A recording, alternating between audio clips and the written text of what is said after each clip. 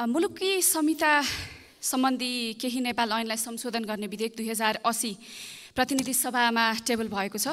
हालको अवस्थामा जुन मिटर ब्याजको समस्या देखिएको छ यसलाई समाधान गर्नको लागि तत्कालीन अवस्थामा यो विधेयक नितान्त रूपमा आवश्यक देखिएको भए तापनि प्रक्रियागत हिसाबले हेर्दा चाहिँ सरकारले प्रतिनिधि सभालाई व्यवस्था गरेको हो कि भन्ने कुरा देखिन्छ। अझ भनौँ प्रतिनिधि सभालाई छायामा पारेको हो कि भन्ने पनि भान हुन्छ। मैले अस्ति पनि एउटा छलफलमा भाग लिँदै गर्दा भनेको थिएँ प्रतिनिधि सभा सरकारको कठोपुतली होइन सम्माननीय सभामुख महोदय। सरकारलाई जे जे मन लाग्छ त्यस्ता खालका कानुनहरू के के ल्याउन मन लाग्छ ती खालका कानुनहरू यसरी लिएर आउने हो भनेर जुन चार्ट रोस्टर एउटा चाहिँ प्रतिनिधि सभालाई अधिवेशन सुरु हुनुभन्दा अगाडि नै उपलब्ध गराउनुपर्छ भन्ने कुरा मैले अगाडि पनि राखेको थिएँ र आज पनि फेरि त्यही कुरा दोहोऱ्याउन चाहन्छु। आज सदनमा टेबल भएर सैद्धान्तिक छलफल हुँदैछ तर आजको दिनसम्म पनि हाम्रा माननीय सांसदज्यूहरूसँग आज जुन विषयमा छलफल हुँदैछ त्यसको विधेयकको आज एउटा कपी पनि छैन र के को आधारमा सैद्धान्तिक छलफल गर्दैछौँ हामी? यो महत्त्वपूर्ण प्रश्न हो जस्तो लाग्छ मलाई।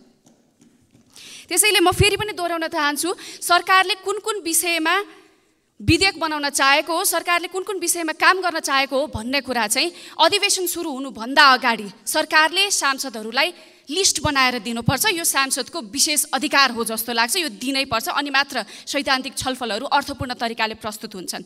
जे होस् अब मैले भन्नै पर्ने कुरा जुन विधेयक आउँदैछ त्यो विधेयकमा चाहिँ यो बैङ्किङ च्यानलहरू सहज हुने कुराहरू पनि समेटिन् समेटिउन् भन्ने कुरा राख्न चाहन्छु र विधेयकमा वित्तीय साक्षरताका कुराहरू पनि समेटिनुपर्छ जस्तो मलाई लाग्छ।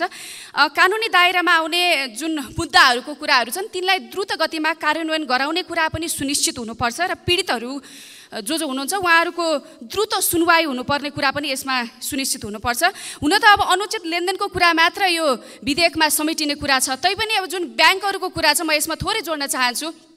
सुरुमा ऋण दिने बेलामा आठ नौ प्रतिशतमा ब्याङ्कले ऋण दिन्छ उचित भनौँ अथवा कागज गरेरै दिन्छ ब्याङ्कले तर बिस्तारै पन्ध्र सोह्र प्रतिशतसम्म पनि ब्याङ्कले पनि त्यो ब्याज बढाउँछ। अनि त्यो ब्याज पनि साउमा जोड्दै बढाउँदै बढाउँदै लगेको देखिन्छ। यसलाई चाहिँ कसरी हेर्ने सम्माननीय सभामुख महोदय? किनभने यो विषयले पनि नेपाली जनताहरू व्यवसायहरू निकै मारमा परेको देखिन्छ। अनुचित लेनदेनको मात्रै होइन ब्याङ्कहरूको पनि यो खालको एउटा अभ्यासले गर्दा धेरै नेपालीहरू मारमा परेर एउटा आत्महत्या गर्नुपर्ने स्थिति आइपरेको छ। धेरै मान्य सांसदहरूलाई यो मेसेजहरू सन्देशहरू फोन कलहरू पनि आउने गरेको छ। यी विषय कहाँ समेट्ने? यस्ता विषयलाई पनि समेटिनुपर्छ जस्तो लाग्छ मलाई। र समग्रमा यो विधेयक आउँदै गर्दाखेरि आम नेपालीले चाहेको जस्तो समस्या सम्बोधन गर्ने ब्याङ्किङ च्यानलका कुराहरू र। ब्याङ्कका कुरा सँगसँगै यस्ता जुन हाम्रा अनुचित लेनदेनका कुराहरू छन् यिनलाई राम्रोसँग समेटेर लिएर आयोस् भन्ने कुरा व्यक्त गर्दै म यहाँबाट बिदा हुन चाहन्छु